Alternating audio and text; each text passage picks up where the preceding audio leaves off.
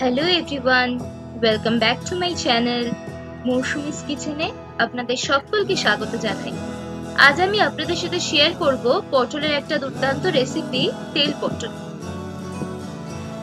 এটা একটা authentic Bengali dish পুরো ভিডিওটা দেখবেন। ভিডিওটা ভালো লাগলে লাইক অবশ্যই করবেন শেয়ার করবেন আর সাবস্ক্রাইব করবেন আমার চ্যানেলকে তাহলে চলুন দেরি না করে শুরু করা যাক তেল পটল রেসিপি তেল পটল বানাতে কি কি উপকরণ আমি এখানে ব্যবহার করছি সেইগুলো এক নজরে দেখে নেওয়া যাক। প্রথমেই আমি এখানে নিয়ে নিয়েছি পটল। পটলটা দেখতে পাচ্ছেন, একটু বড় সাইজের নিয়েছি আমি। তেল পটলে একটু পটলটা বড় সাইজের হলে একটু ভালো হয়। পটলটাকে আমি ফ্রেশ করে ধুয়ে ভালো করে আমি পিল অফ করে নিয়েছি। দেন আমি পটলটাকে একটু নুন, হলুদ, সামান্য লঙ্কার গুঁড়ো আর অল্প একটুখানি চিনি দিয়ে ভালো করে ম্যারিনেট করে প্রায় এক ঘণ্টার মতন এরকম রেখে দিয়েছি। এখানে নিয়ে নিয়েছি আমি একটা বড় মাপের পেঁয়াজকে ভালো করে গ্রেট করে নিয়েছি, ছ সাতটা রসুন কোয়াকে ভালো করে গ্রেট করে নিয়েছি নিয়েছি একটা বড় পাকা টমেটো আর নিয়েছি দুটো কাঁচা লঙ্কা। আমি এখানে দুটো কাঁচা লঙ্কা ইউজ করছি, ঝালের পরিমাণটা বুঝে আপনারা কাঁচা লঙ্কাটা বাড়ানো কমানো করতে পারেন। ফোড়নের জন্য নিয়ে নিয়েছি একটা তেজপাতা, নিয়েছি একটা শুকনো লঙ্কা, একটু কালো জিরে নিয়েছি আর দুটো ছোট এলাচ। রান্নাটা আমি সর্ষের তেলে করব পুরো রান্নাটা। আর কি কি মশলা আমি ইউজ করছি সেটা রান্না করতে করতে আপনাদের সাথে শেয়ার করব। তাহলে চলুন তেল পটল রেসিপিটা শুরু করা যাক। কড়াইয়ে সর্ষের তেল দিয়ে দিচ্ছি। তেলটা গরম হয়ে গেলে আমি বাকি প্রসেসটা ইউজ করব। কড়াইয়ে সর্ষের তেল গরম হয়ে গেছে। এবার আমি পটলগুলোকে ভেজে নেব।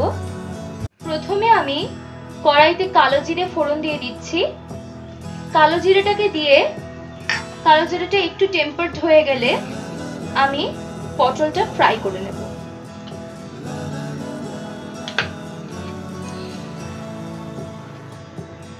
এবার আমি এক এক করে পটলগুলোকে তেলে ছেড়ে দিচ্ছি।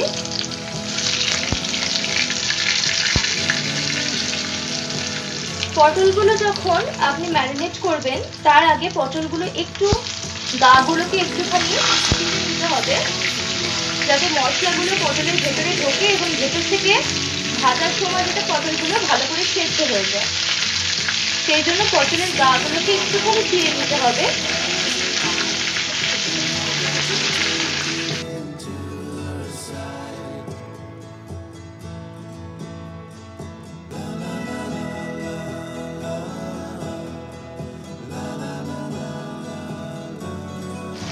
দেখুন, পটলটাকে আমি ভালো করে ভেজে নিচ্ছি। পটলের গায়ে কি সুন্দর ব্রাউন কালার ধরে গেছে। কিন্তু খেয়াল রাখবেন, পটলগুলো যেন পুড়ে না যায়।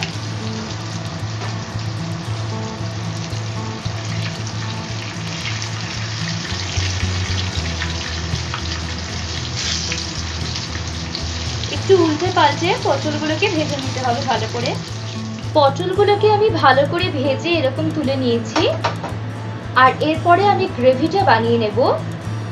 যেহেতু নামটা তেল পটল, শুনেই বুঝতে পারছেন, এই রান্নাটাতে তেলের আধিক্যটা একটু বেশি থাকবে। তাহলে চলুন, এবার গ্রেভিটা বানানো যাক। তেলে আমি পটলটা ভেজেছি, সেই তেলেই আমি এবার গ্রেভিটা বানাবো।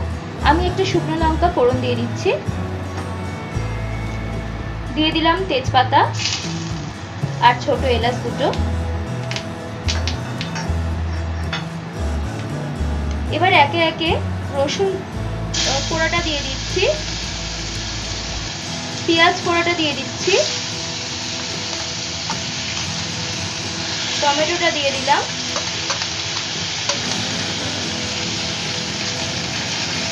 আর একটা কাঁচা লঙ্কা দিয়ে দিচ্ছি।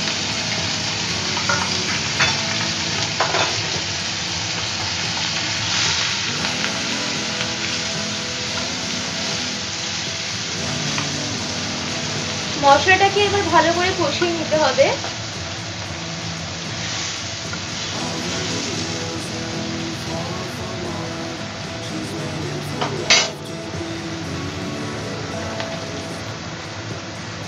পরিমাণ মতন একটু চিনি দিয়ে দিচ্ছি।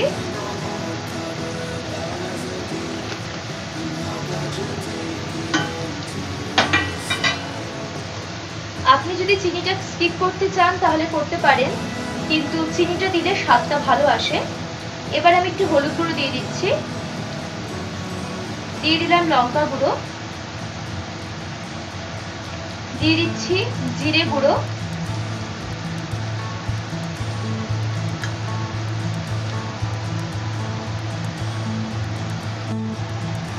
এবার এখানে আমি স্বাদ মতন নুন দিয়ে দিচ্ছি।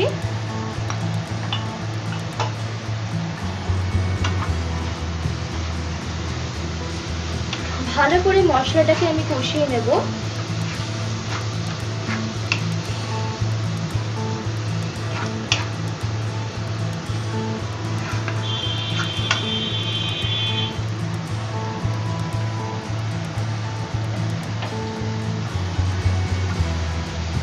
এখানে হলুদ গুঁড়ো আর লঙ্কা গুঁড়োটা আমি দু চা চামচের মতন ইউজ করেছি।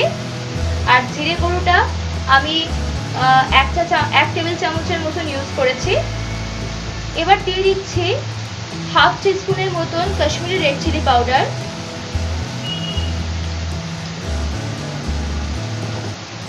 এখানে লঙ্কার পরিমাণটা আপনি আপনার স্বাদ অনুযায়ী দেবেন।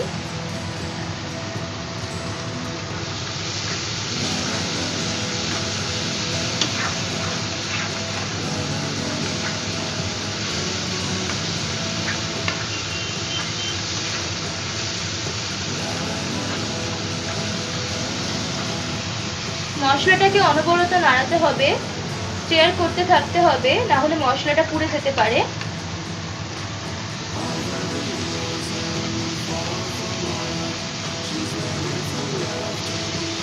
মশলাটা থেকে অলরেডি তেলটা সেপারেট হতে শুরু করে দিয়েছে।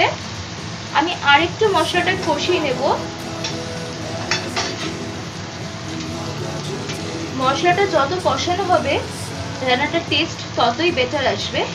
তাই মশলাটাকে একটুখানি ভালো করে সময় নিয়ে টাইম ধরে কষাবেন।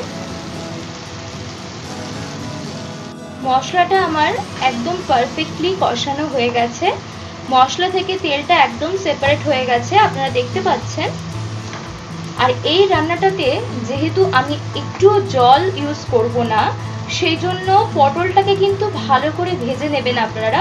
না হলে পটলটা কাঁচা কাঁচা থাকলে পুরো রান্নাটার টেস্টটাই একদম নষ্ট হয়ে যাবে। সেই জন্য যেহেতু জল অ্যাড করব না, তাই পটলটাকে আপনারা ভালো করে একটু ভেজে নেবেন।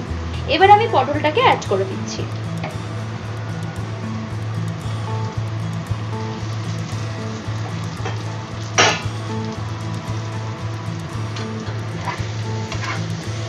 পটলগুলোকে মশলার সাথে ভালো করে একটুখানি মিক্স করে আরও কিছুক্ষণ একটুখানি ফ্রাই করে দেন আমি নামিয়ে নেব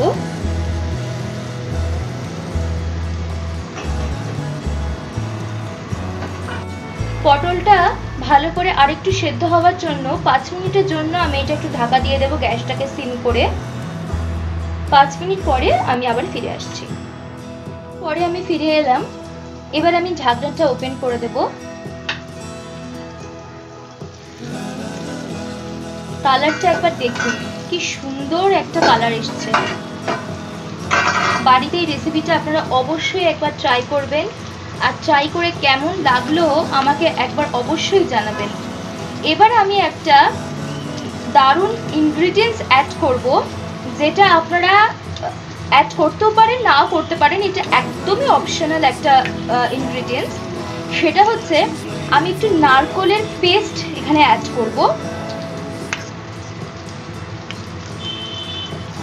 কারণ এরকম রান্নায় এরকম অথেন্টিক রান্নায় যদি একটু নারকলের পেস্ট দিয়ে দেওয়া যায়, তাহলে রান্নাটার সম্পূর্ণ স্বাদটাই একদম খুব এনহ্যান্স করে যায়।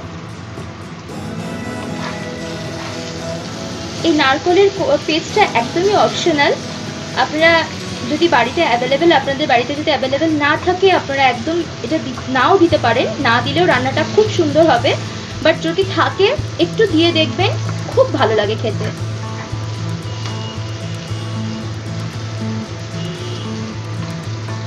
ব্যাস, তেল পটল রেডি হয়ে গেছে।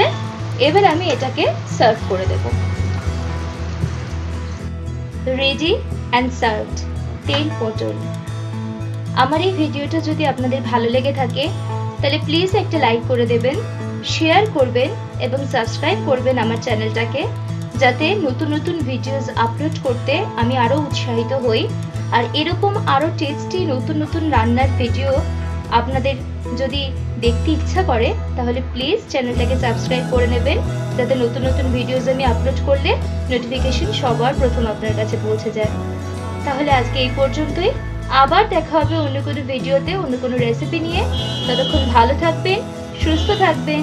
Bye bye